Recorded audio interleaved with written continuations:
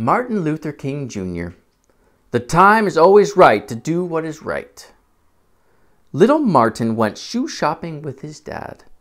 The owner said, We only serve people with dark skin in the back. They left the store instead. One day, Martin gave a speech about how we should treat each other.